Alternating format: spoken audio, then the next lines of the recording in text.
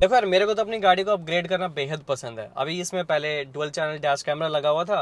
मुझे लगा, अगर कुछ नई चीज़ आ जाए मार्केट में तो लेने में क्या दिक्कत है? तो मैंने मंगवा लिया रेड टाइगर का थ्री चैनल डैश कैमरा अब ये सारी गाड़ी सर्विलेंस के अंडर है। ये मैं, मैंने अपनी गाड़ी के लिए मंगवाई, इसको अभी मैं अपनी गाड़ी में लगाने वाला हूँ। उससे पहले करते हैं इसकी अनबॉक्सिंग की बॉक्स में क्या क्या है? ये है बॉक्स सबसे ऊपर लिखा है रेड टाइगर ब्रांडिंग है और नीचे उसका F17 मॉडल है थ्री चैनल बॉक्स ओपन करने के बाद सबसे पहले मिलेगा एक यूज़र मैनुअल एक क्विक स्टार्ट गाइड दो इलेक्ट्रोस्टैटिक स्टिकर ये इसका जीपीएस एनेबल्ड माउंट कैमरा का। ये कैमरा की power cable with 12 volt adapter ये rear camera with its cable ये कुछ एक्स्ट्रा वायर क्लिप्स हैं लगाने के लिए। एक एक्स्ट्रा 3M की एडेसिव टेप एक ये छोटा सा टूल वायर को टक करने के लिए। So this is main camera सामने एक लेंस है 4K में रिकॉर्ड करेगा। और यहाँ पे इसका माउंट लगेगा। यहाँ पे टाइप सी पोर्ट से ये पावर लेगा अडेप्टर से। बीच में रेयर कैमरा का पॉइंट जैक लगेगा और यहाँ पे एक मेमोरी कार्ड का स्लॉट है। कोई भी क्लास टेन का आप मेमोरी कार्ड लगा सकते हो। सिक्सटी फोर जीबी का एक सही रहता है ज़्यादा रिकॉर्डिंग्स रखने के लिए। नीचे पाँच बटन है ऑन ऑफ़ लेफ़्ट राइट ताकि स्क्रीन के अंदर आप नेविगेट कर सको सेटिंग्स के बीच में। पीछे यहाँ पे एक थ्री पॉइंट टू इंचज की डिस्प्ले है। ये कैमरा है कैमरा के ऊपर एक माइक है। और उस बिल्ड क्वालिटी अच्छी है। अनबॉक्सिंग देख ली, अभी आते हैं इसका फिटिंग का टाइम फिटिंग में टाइम काफ़ी जाता है तो वो मैंने नहीं दिखा है। बस मैंने A pillar B pillar C pillar को खोलते हुए वायरिंग पीछे लगा दी है, वो कैमरा आपको दिखाई दे रहा है। तो इंस्टॉलेशन कंप्लीट हो चुकी है और यहाँ पे इसे माउंट कर दिया। इसमें टाइप सी पोर्ट से केबल लेता है और यहाँ पे वो कनेक्टेड है ट्वेल्व वोल्ट का सॉकेट इसके साथ ही आता है, जैसे मैंने दिखाया था। इसी के अंदर टाइप ए का भी पोर्ट है। इनकेस अगर आपको कोई और एसेसरीज के अंदर लगानी है तो आप लगा सकते हो। रेयर कैमरा की केबल यहीं से जा रही है और यहाँ से मैंने इसकी पूरी वायरिंग करी है और यहाँ से होते हुए वो रेयर कैमरा मैंने लगाया हुआ है। अभी ऑन करने पे कैसा इंटरफेस आता है वो मैं दिखा देता हूँ।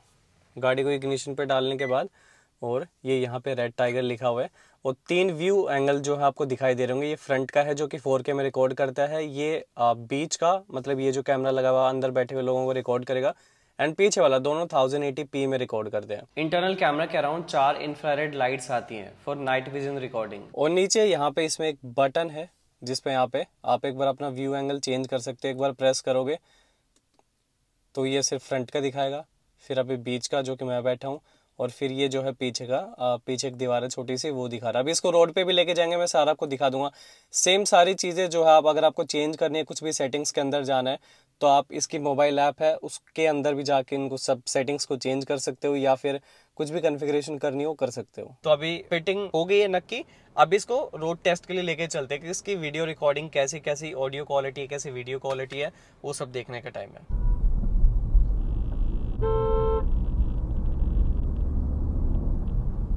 चलो कुछ है क्लिप ना इसकी ओरिजिनल ऑडियो के साथ और वीडियो के साथ डाल के देख लेते हैं। कैसा क्या रिस्पॉन्स है, मेरी ऑडियो कैसी है? मैं इसमें कुछ भी चेंजेस नहीं करूँगा, कोई करेक्शन नहीं करूँगा ऑडियो वीडियो में। कुछ भी नहीं है, ये एकदम ये देखा भी कैसे है वेन्यू वाला। बिना मिरर में देख काट देते हैं गाड़ी। तो इस मामले में आई फील कॉन्फिडेंट समटाइम्स कि हाँ camera and I need to prove this चलिए, अब मैं आपको अपना ओपिनियन देता हूँ कि रिकॉर्डिंग्स की क्वालिटी कैसी है। वीडियो क्वालिटी की अगर बात करें तो कलर डिस्टोर्शन नहीं है। कोई भी ऐसा रंग मतलब फेड नहीं है कि बहुत ही ज़्यादा हाईलाइट कर दिया गया है डल कलर बिल्कुल भी ऐसा नहीं है। नंबर प्लेट्स व्हीकल्स की विजिबल है। एक सर्टेन डिस्टेंस के बाद जब आप जाओगे व्हीकल्स के नज़दीक तो आपको अच्छे से दिखाई देंगे। ये वीडियोस को आप इसकी मोबाइल ऐप के थ्रू डाउनलोड कर सकते हैं, फिर इनको मोबाइल के अंदर सेव करिए इंपोर्ट करिए। तो अगर आप इनको ऐसे ओपन करके देंगे तो अच्छी खासी क्वालिटी आती है। बॉटम लेफ़्ट कॉर्नर में इसका लोगो आता है रिकॉर्डिंग की डेट एंड टाइम आता है तो वो थोड़ा सा मैं चेंज करना भूल गया तो टाइम यहाँ पे थोड़ा सा गड़बड़ है। अब बात करते हैं इंटरनल कैमरा की। देखो, इसका कलर ठीक है, आप इसका एंगल नहीं चेंज कर सकते।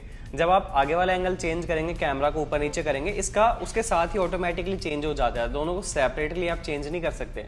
तो गाड़ी का IRVM बीच में आ रहा है।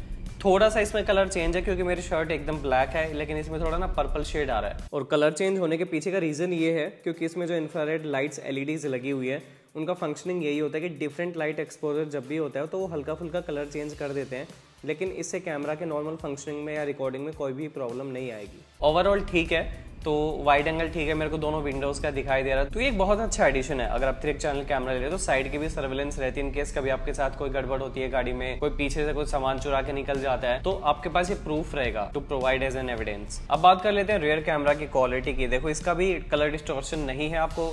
रियल कलर के ऑलमोस्ट ही देखने को मिलेगा।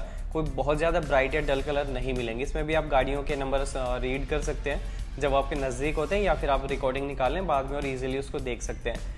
ओवरऑल क्वालिटी अच्छी है तीनों कैमरास की, और ये भी 1080p में रिकॉर्ड करता है। और जब आप गाड़ी ड्राइव कर रहे होते हैं तो एक ये काइंड ऑफ़ स्क्रीन सेवर सामने आ जाता है, जिसमें डायरेक्शन बताता है। प्लस आपकी गाड़ी की उस वक्त स्पीड क्या है, वो भी शो करता है। अभी अगर बात करें नाइट टाइम रिकॉर्डिंग की, और शुरुआत करेंगे फ्रंट कैमरा के साथ तो यहाँ भी वीडियो क्लैरिटी काफ़ी अच्छी है। कोई लाइट्स ऐसा फट नहीं रही है कैमरे के अंदर तो मतलब वो स्प्रेड नहीं हो रही है तो आपको क्लैरिटी है इस वीडियो के अंदर। और अगर आप गाड़ियों के नंबर प्लेट्स रीड करोगे तो वो भी आप कर सकते हो। बाकी आपके ऊपर डिपेंड करता है वीडियो आपके सामने आप जज कर सकते हो उसकी क्लैरिटी क्वालिटी देखकर कि कितना क्लियर है और कितना साफ़ व्हीकल्स को आप देख सकते हो। अभी बात करते हैं इंटरनल कैमरा की तो ऐसी क्लैरिटी आपके सामने है, आप खुद जज कर लो, मेरे हिसाब से ठीक है ब्लैक एंड व्हाइट इफ़ेक्ट जो यहाँ पे ये दे रहा है। अगर गाड़ी की रीड लाइट छत की लाइट ऑन करोगे तो शायद ये थोड़ा कलर्ड आपको इफ़ेक्ट दे देगा, क्योंकि इसमें इंफ्रारेड लाइट्स लगी हुई है।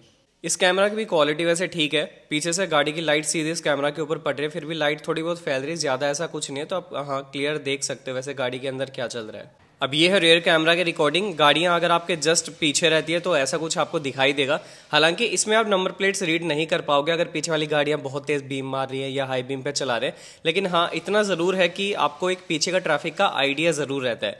अगर मान लो गाड़ी आपसे थोड़ा दूरी पे चल रही है तो ऐसा कुछ आपको दिखाई देगा। देखो, मेरे हिसाब से this camera is really good deal three channel dash camera market में बहुत कम मिलते हैं। रेड टाइगर ने ये रिसेंटली लॉन्च किया है। और अगर मान लो ये किसी के बजट में नहीं फिट बैठ रहा है तो रेड टाइगर का एक डुअल चैनल भी डैश कैमरा आ रहा है वो भी कंसिडर कर सकते हो। देखो, अपनी सेफ्टी के लिए गाड़ी में डैश कैमरा तो लगाना चाहिए, और अगर एक थ्री चैनल डैश कैमरा आ रहा है तो क्या दिक्कत है? तो ये तो शुक्र है मेरी गाड़ी में डैश कैमरा लगा है।